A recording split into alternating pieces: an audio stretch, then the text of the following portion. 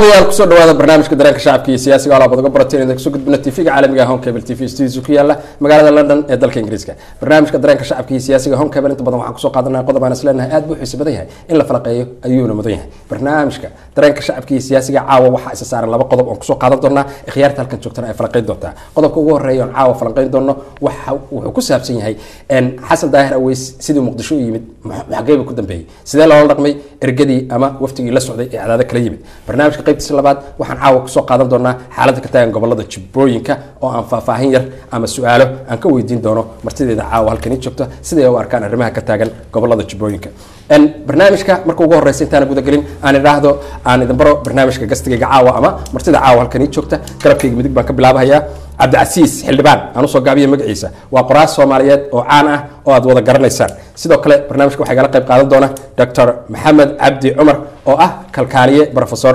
jaamacadda london metropolitan university ee ku taala magaalada london ee dalkan ingiriiska dhankayga bidix waxaa fadhiya ducaale ciise yuusuf oo ah xogayaha arrimaha dibadda golaha midnimada soomaaliyeed.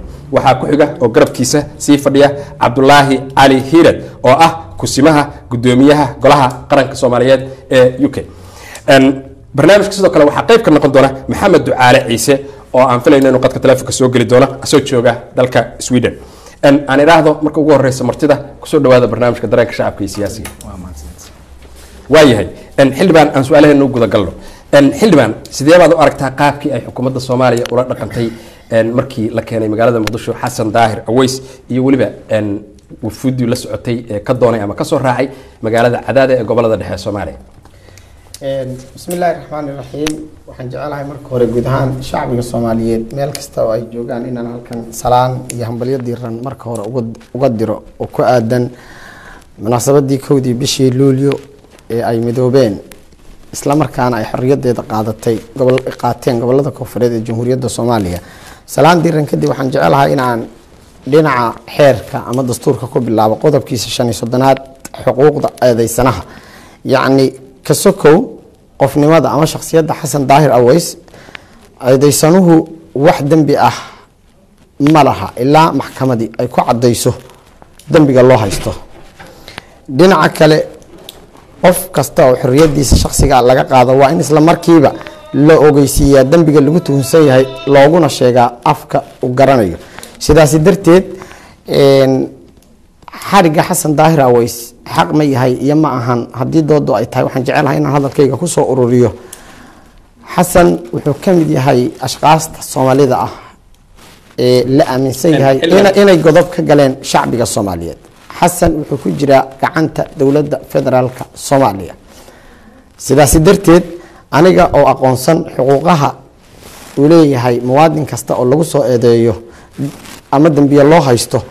Kasoko waxaan jecelahay inaan halkan tacsi uga diro dhammaan qeybaha bulshada soomaaliyeed oo ay uga horeeyaan dadkii ay waxyeelada ka soo gaartay dhacdadii ka dhacday ee ee ciidamada nabadsugidda qaranka ay kula wareegayeen xasan daahir dhaawacyada iyo nabaradu ay ka soo gaareen. Waxaan leeyahay ilaahay nabrihii idin gaaray far iyo suul ha idinkaga qaado sidoo kale waxaan si gaar ah weliba u jeclaan lahaa ma arag laakiin jecelahay in codkayga la gaarsiiyo xildhibaan cabdilqaadir cali cumar iyo genaraal subxaanyo oo dadkii dhaawacyada halkaas ay ka soo gaareen ka mid ahaa waxaad ku soo aruurinaysaa marka sidii ergadii loola dhaqmay baa xoogaa qalad ahayd laakiin sidii xasan loola dhaqmay waa saxayd baad leedahay xasan daahir aweys sidii loola dhaqmay waxay ahayd sax xasan waxaan rabaa waxaan rabaa waa mahadsan tahay ducaale adigaan ku imaado. Ducaale sideed u aragtaa sidii loola dhaqmay markii la keenay garoonka magaalada muqdisho xasan daahir aweys iyo weliba ergadii la socotay oo horey looga diray magaalada muqdisho oo ka soo kaxaysay magaalada cadaado maamul goboleedka iyo xeebe gobollada dhexe soomaaliya. Bismi illahi raxmaan raxiim ugu horeyn waxaan halkan uga mahad celinaya allah subxaanahu watacaala jala jalaalah wacala waxaan mar labaad aan halkaan uga mahad celinayaa duraan adigoo barnaamijkan uga casuntay waxaan kaloo rabaa halkaan inaan mahad gaar uga soo celiyo uga jeediyo home cable oo runtii fursad siiyey in ay ka qayb qaataan dibudhiska nabadda soomaaliyeed. Haddaan barnaamijka u soo noqday su'aasha ay weydiisay xasan ma imaan lahayn muqdisho maanta laakiin waxyaalihii ka daweeyey oo runta aan markaan ka hadalno ururka xisbul islaam iyo golaha midnimada soomaaliyeed oo aniga aan ka mid ahay ayaa waxay tageen wadankaasi qatar. Em, waxaana soo dhaweeyey sababta dadka soomaalida maanta waxay u baahan yihiin nabadgelyo. Een, golaha midnimada soomaaliyeedna waxaa loo dhisay waa inuu ka shaqeeyo inuu dadka soomaaliyeed ee burbursan ee dhibaatadii dhaawac haysta bal inuu in sida ugu wanaagsan uu u keeni karo dadka isku haysta xukunka soomaaliya Em, rag ka mida maxaa la yihahdaa xisbul iyo rag ka mida golaha midnimada soomaaliyeed waxay tageen wadankaasi qatar. Waxay la kulmeen xukuumadda qatar halkaana waxaa laga ogolaaday in lala hadlo ragga mucaaradka oo dowladda mucaarad ku ah. Xasan wuxuu ka mid yahay raggaasuu ka mid ah. Em, deedna waxaa dhacday in xasan lala hadlay oo lagu yiri haddaad doonaysid in soomaaliya aan lagu haysanin dhibaatada maanta jirta ile ama al-shabaab baa lagu haystaa ama qolooyin kalea lagu haystaa. Haddaad arrintaa doonaysid inaad soomaaliya nabadgelyo wax ka qabatid dee meesha aad taaganta waa inaad ka soo dhaqaaqdid go'aan baa la siiyey wuxuu yiri arrintaa marka wuxuu ka yiri ma la hubaa in arrintaanu aanay sir ku jirin. Em, anagu sidaan la soconno ama sida uu warku dhacayo waxa uu ka soo tegay meeshuu joogay dadna wuxuu tegay cadaado. Uma uusan tegin xasan marka meeshii inuu dagaal iyo inay dad iska qabsadaan laakiin maadaama rag ay la ballameen oo la yiri waxaad tegi doontaa halkaas deedna dayuurada kugu iman doona. Deedna waxaa loo gelin doona wadanka qatar deedna dowladda qayb ka socotaa iman doonta oo halkaasa nabadgelyada soomaaliya lagu dhisi doona si dhibkan looga baxo. Horta arrinta xasan saasay u dhacday. Ma ahayn xasan inuu inuu ka soo cararayo nimankuu la jooga ama wax kale ay jiraan ee waxa keliyu maanta u soo baxay. Bal inuu ka qayb qaato nabadgelyada waad noo sheegtay in qaabkaasi odigu xisbigiinu xataa uu ka tirsanaa qaabkii loo soo xasan waxaan ognahay baraawa dagaal inuu uga soo baxay oo weliba raggii la socday lagala haray marka qaabkaasi soo ma beeninahayo qaabkaad hadda u hadlayso adigu aad leedahay. Anigu aniga asfaar inta aniga aan ka ogahay oo ah, kooxda maxaa la yidhahdaa golaha midnimada soomaaliya aan ka ogahay ninkii naga mid ahaa oo meeshii tagayana waan ogeyn markuu tagayay markuu yimidna qadarta uu ka soo noqdayna wuu noo waramay waa wax ogaala ma aha wax wax ku tiri kuteena aad baad umahadsan tahay. Maxamed cabdi adigaan ku imaado.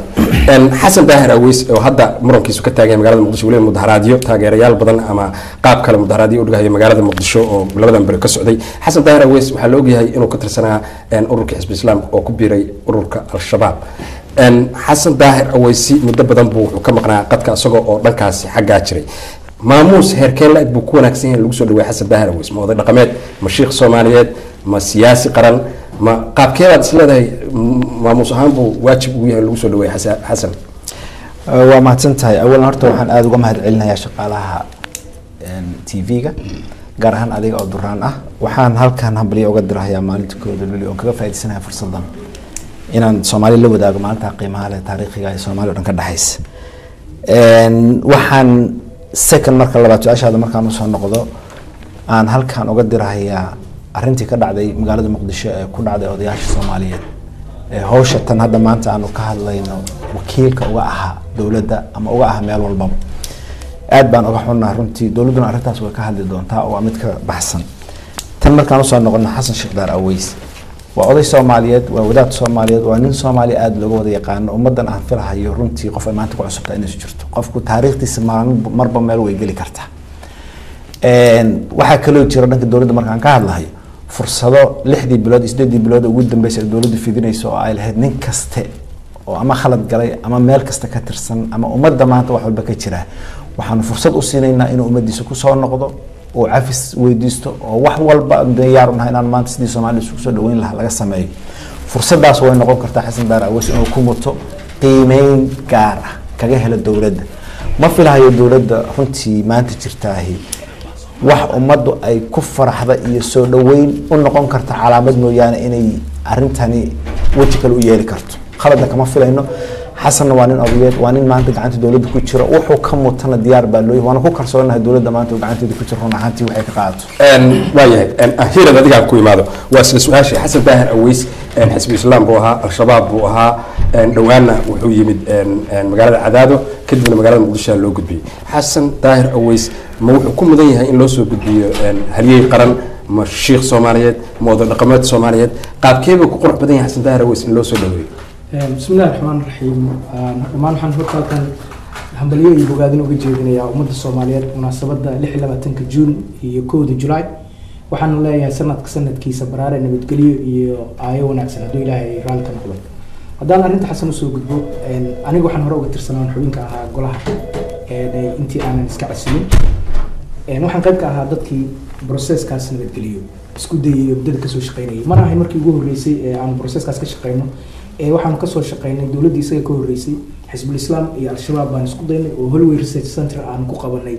Een, shir aanu dad xubno maanta baarlamaanka soomaaliya ku jira ay ka mid yihiin oo professor guure iyo ragooda ay ka mid yihiin cabdiraxmaan cabdishakuur uu ka mid yahay. Een, markii ugu horreysay markii labaadna maaha intii uu jiray khilaafka oo jabuuti iyo kala joogeen asmara baan aniga ducaale halka ka tagnay oo aan asmara ugu tagnay.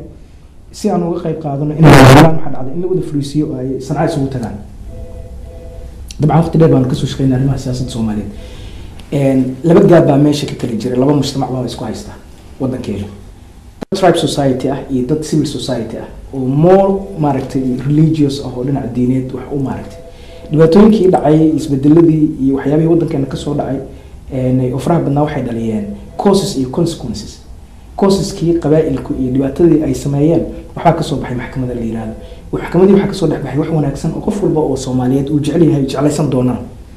Wixii cid walba ay ku qanacsanayd ayaa kooxo warloora ah oo dalalka dariska ah laga soo dhisay dowlad loogu soo magacaabay iyo etoobiya wadankeena ay invade gareeyeen.